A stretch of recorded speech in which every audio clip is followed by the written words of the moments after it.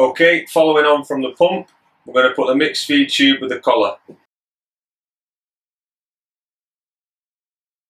So we've got the mixed feed tube, two seals on this one, one on the bottom.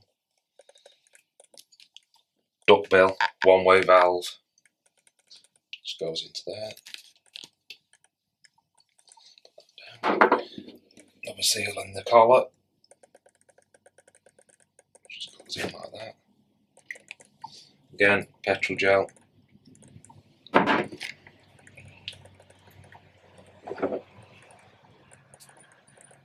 Petrol gel down there.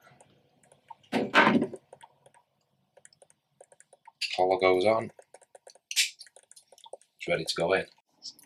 It'll only go in one way. It'll only go in that way or that way. It won't go in that way because there's a pin inside and you've got two flats there which stop that.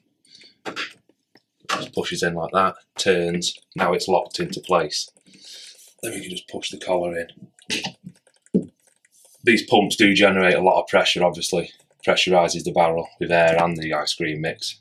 Um, we'll show you later on in the troubleshooting section about this collar and what to do and what not to do.